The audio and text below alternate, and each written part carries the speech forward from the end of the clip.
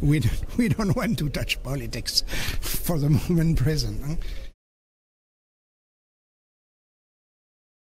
My name is Alain Peyraube. I'm French. I'm working at the French National Center for Scientific Research, working on Chinese linguistics, and uh, mainly on historical uh, Chinese linguistics and typological Chinese linguistics.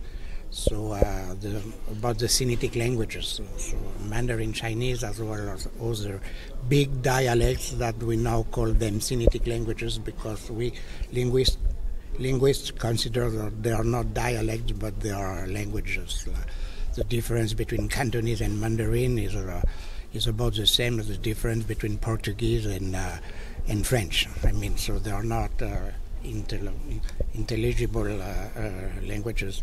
And uh, well, so I'm working since.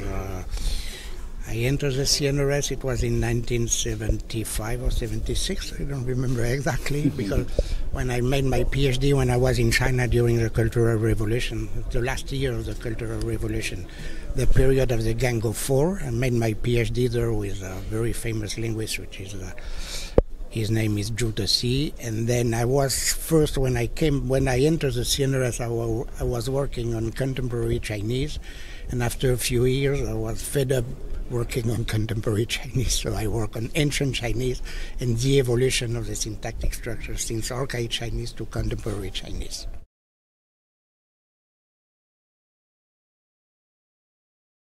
Well, that's uh, yeah. I was interested in linguistics because uh, when I was I was graduate from University of Bordeaux uh, in southern south uh, southwest France, uh, close to uh, close to Spain, and and and then when I, while I when I was in university, I have to choose. Well, I would like to study literature or history of, and at that time the Latin was obligatory, and uh, I did not study Latin when I was in secondary school.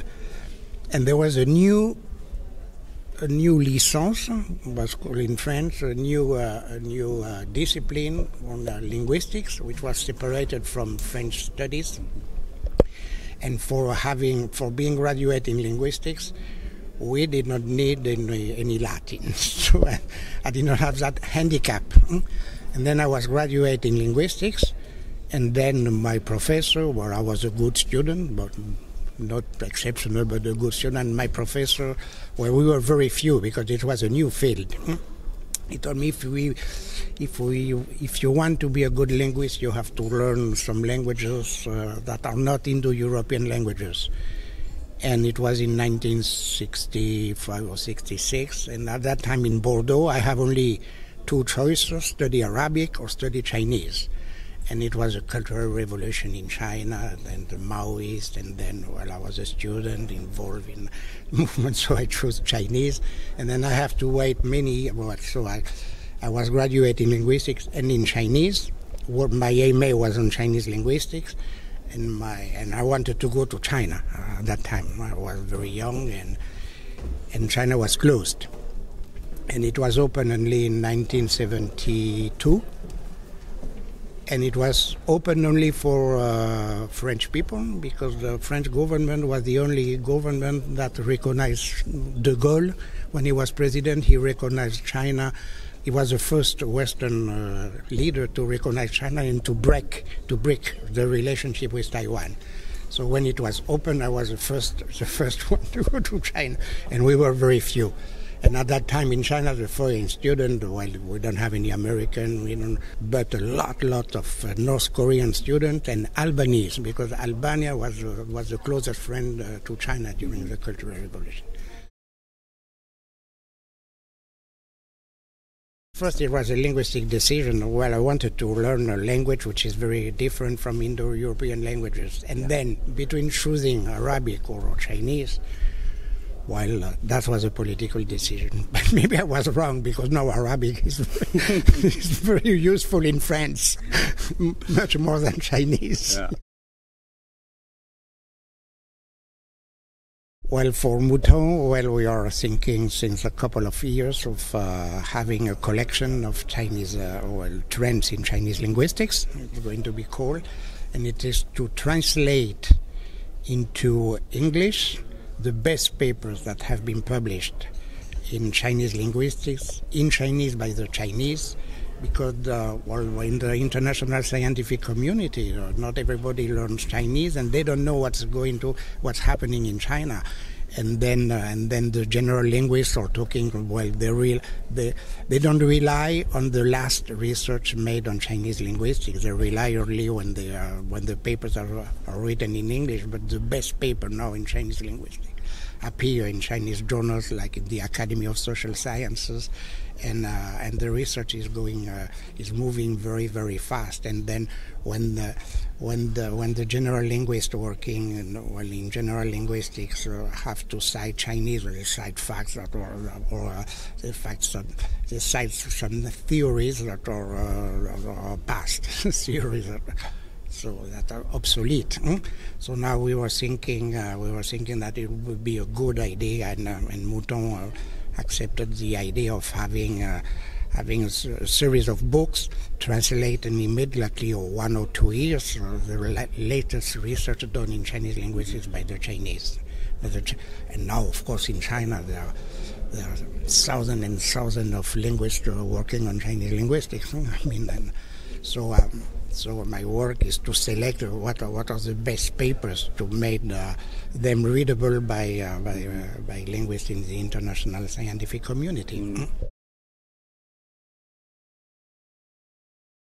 Well, the academic research leads, of course, have some outcomes that are very useful for people doing applied linguistics and teaching Chinese to foreigners. And now, uh, since uh, well, uh, since well the last decade, there are plenty, plenty of students studying Chinese now because they want to go to China to do business, and uh, and, uh, and, China is uh, well, is the second um, economic power now in the world, and uh, so a lot of people are interested in Chinese. And of course, what we do in Chinese linguistics when we do basic research. It is applied immediately to people who are doing uh, applied linguistics and teaching Chinese to foreigners. That one thing. The other thing that uh, we are uh, well. I'm, I'm frequently I'm frequently uh, asked to uh, for business uh, when, when they, they want to know something about the mentality of ancient Chinese when they have to treat and uh, to sign contracts in China and then uh, so that we are very useful on that way, especially when we are working on ancient China. When you work on ancient you know, in medieval Chinese, of course, you're you're working on texts that uh, you have the culture, the background is of the cultural, uh, the cultural ancient China, and then of course they are, uh, for the the demands are quite high. Yeah. I don't know if I'm going to answer correctly, to, but now there is a very important field uh, in, uh, and still uh, in its infancy in Chinese linguistics. It's about psycho and uh, neurolinguistics. And so now, and, and, this is of course will be comparative, uh, comparative analysis. And uh, well, they have a lot of uh, very good studies in neurolinguistics in uh, well uh, for in Western countries and in Chinese. They are now starting because well they need a lot of equipment. They, FRMI and all these things are and this will be, of course, uh, very important for comparing the two. Uh, is the brain of the Chinese designed the same as the brain of a German or a French, and things like that. And where are located the where, where are located in the brain the uh, well uh, specific specific uh, language uh, and for working for language impairment too, and all these things. And this is going to be probably very important in the in the in the next decades and uh, and for comparing for comparing the two uh, the two words. Mm, I mean. Mm.